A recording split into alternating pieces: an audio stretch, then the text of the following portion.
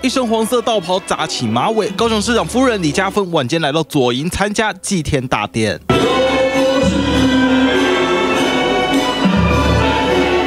现场气氛庄严，李嘉芬手拿线香虔诚跪拜，庙前广场则是被爆满信众挤得水泄不通。仪式开始前，更有韩粉抢着要握市长夫人的手。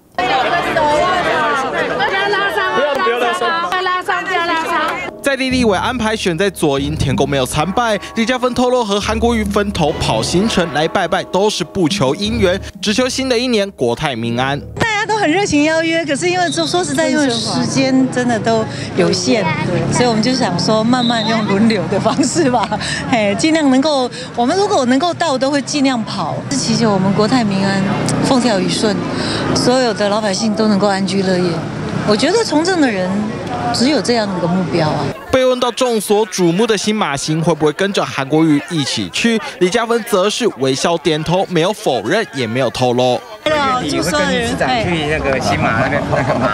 没有，你传的。对，现在还要在这。韩流魅力持续发威，加上李嘉芬亲切好形象，走到哪都被信众团团包围，就能看出市长夫人的魅力一点也不输给韩国瑜。记者高雄综合报道。